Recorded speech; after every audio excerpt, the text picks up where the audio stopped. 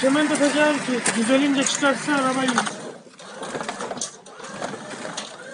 Samsun'un Atakum ilçesi Kocadağ mevkisi taş ocağı yanında akşam saatlerinde meydana gelen kazada edinilen bilgiye göre Selahattin Oğuzhan Çakır idaresindeki otomobil direksiyon hakimiyetinin kaybedilmesi sonucu yaklaşık 50 metrelik uçurumdan yuvarlanarak çam ağacını kırarak alt yola düştü.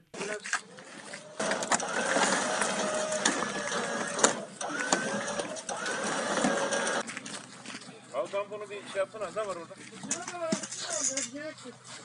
Kazada otomobil sürücüsü Selahattin Oğuzhan Çakır ile aynı araçta bulunan Karay Çakır, Ataberk Çakır ve Şefik Erkol yaralandılar. Neye? Anahtarları var ya. Arabanın anahtarları var. Nerede?